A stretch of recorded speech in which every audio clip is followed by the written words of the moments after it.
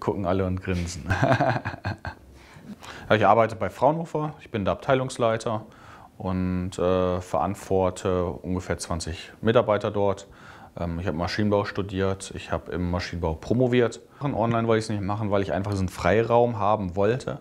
Wenn ich in irgendwas abtauche, und das tut man ja hier, dann brauche ich einfach den Freiraum, um tief reinzugehen.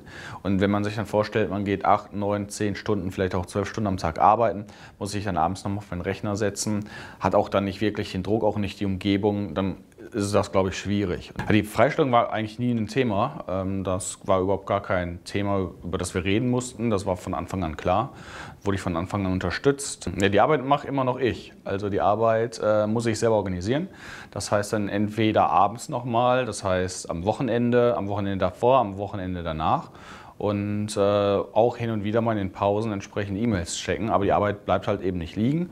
Die muss immer noch ich machen und äh, dafür bin ich aber auch verantwortlich. Das Verständnis war von Anfang an klar, dass die Arbeit weiterläuft, dass ich natürlich mich dort nicht rausnehmen kann. Von daher war das auch überhaupt kein Problem. Hier gibt es schon einen festen Stundenplan, äh, der sehr stark durchgetaktet ist. Aber es wird immer was beigebracht und dann versucht man das nochmal in Gruppenarbeiten beispielsweise zu verwirklichen. Das können entweder kleine Übungen sein, das können aber auch Cases sein, die man gemeinsam bearbeitet.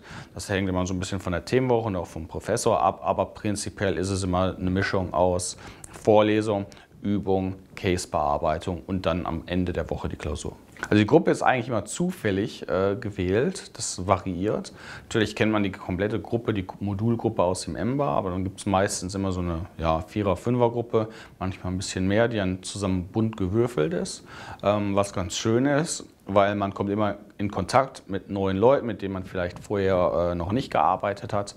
Ähm, dadurch, dass die komplette Gruppe auch dann manchmal ein bisschen anders äh, zusammengesetzt ist und nicht alle aus fachgleichen Bereichen kommen, ähm, gibt es dann eben auch die Möglichkeit, ganz neue Ideen-Inputs mal zu bekommen. Hauptgrund, warum ich eigentlich hier bin, ist, die Inhalte zu lernen, nochmal eine komplett neue Sicht zu bekommen, neben der technischen Sicht äh, auf Fragestellungen auch nochmal so einen extra Gedankeninput. Wenn es dann Aufgabenstellung bei mir im Unternehmen gibt, ähm, bringe ich das auch in Korrelation mit dem Ember. Mir fallen mehr Dinge auf, ähm, mir fallen äh, auch neue Lösungsstrukturen ein. Also wenn man hier mitmacht, muss man auf jeden Fall Engagement mitbringen.